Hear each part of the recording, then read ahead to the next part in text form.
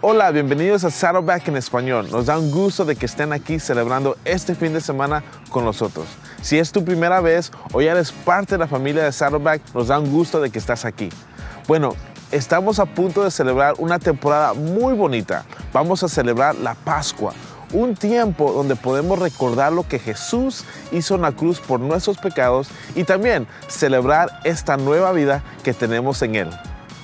Estamos a unas pocas semanas de celebrar la Pascua y quiero contarte un poquito de qué es lo que celebramos.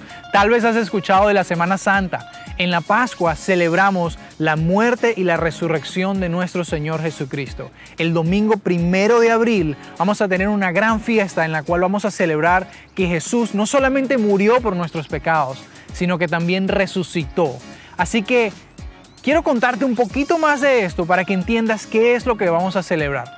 Hace muchísimos años se celebraba también la Pascua y Jesús celebró varias Pascuas. Déjame leerte una historia en la cual estaban celebrando.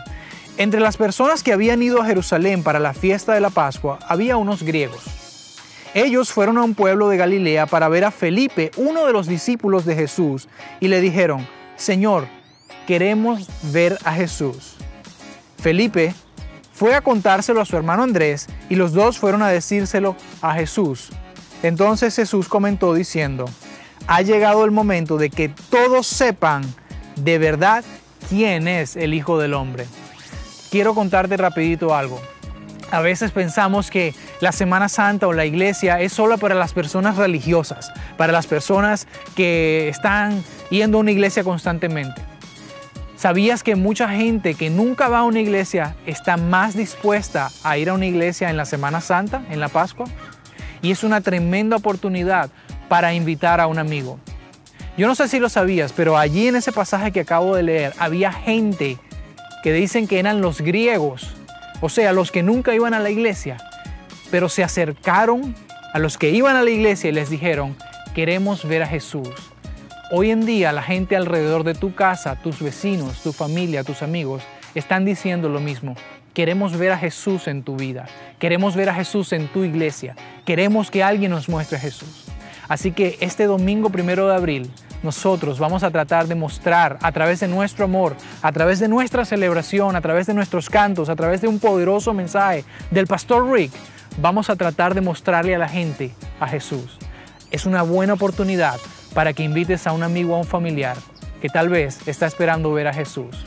Quiero que hagas dos cositas. Quiero que te lleves las tarjetas para que invites a un amigo y quiero que anotes el nombre del amigo por el que vas a, al que vas a invitar en la tarjeta de conexión para yo estar orando por él esta semana. Invítalo y nos vemos este primero de abril a las 2 de la tarde para nuestro gran servicio de Pascua en el que vamos a tratar de que muchos vean a Jesús. Y también estamos emocionados de anunciar que este viernes vamos a tener un servicio especial para el Viernes Santo. No te lo pierdas, va a ser a las 8 pm aquí en la refinería. Y recuerda, si quieres escuchar el mensaje totalmente en español, ve al lobby y recoge los audífonos. Que disfruten el servicio.